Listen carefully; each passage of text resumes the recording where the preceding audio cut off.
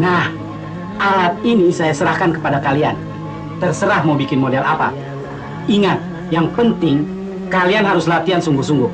Mengerti? Terima kasih. Dan bagaimana hmm, kalau saya bentuk grup dalam bentuk dangdut? Cocok. Saya paling senang sekali dangdut.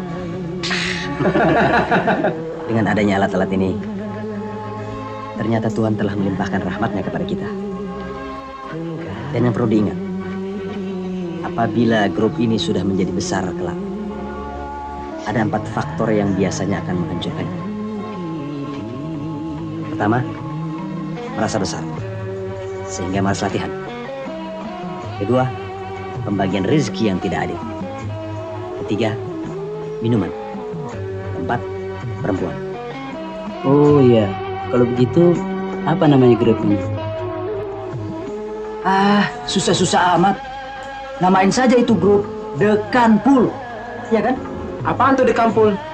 Mau tahu? Makan nggak makan kumpul. sudah, sudah, sudah.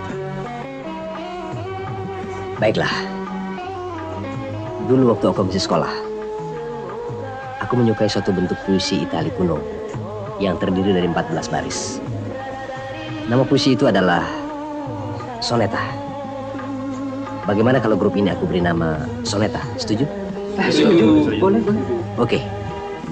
Mulai hari ini, mari kita curahkan tenaga dan pikiran untuk Soneta.